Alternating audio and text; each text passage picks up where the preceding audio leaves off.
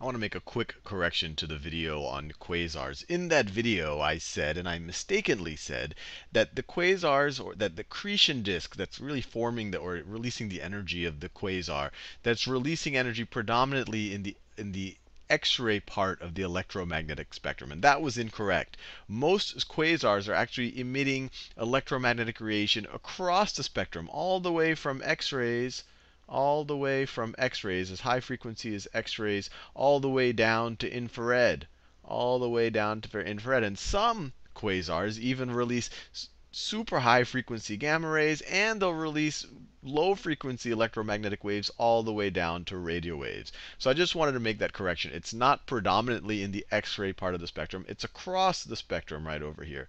It's this entire range of the spectrum, and sometimes even a wider range. Now, the other thing I want to clarify is this is the range of the spectrum that's being emitted. But we have to remember that most, or actually all of these quasars are quite far away. The closest is 780 million light years away. Many of them are many, many billions of light years away. And so they're moving away from us at a very fast speed, or because they're getting redshifted because the universe is expanding so fast relative to us at, the, at that point, or that coordinate is moving so fast away from our coordinate. And so even though this is the spectrum that's being emitted, it's all going to be redshifted.